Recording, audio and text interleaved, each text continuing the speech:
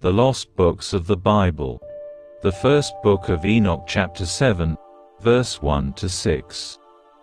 And all the others together with them took unto themselves wives, and each chose for himself one, and they began to go in unto them and to defile themselves with them, and they taught them charms and enchantments, and the cutting of roots, and made them acquainted with plants.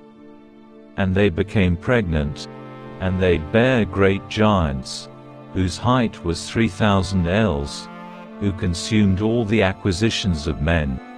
And when men could no longer sustain him, the giants turned against them and devoured mankind. And they began to sin against birds, and beasts, and reptiles, and fish, and to devour one another's flesh, and drink the blood.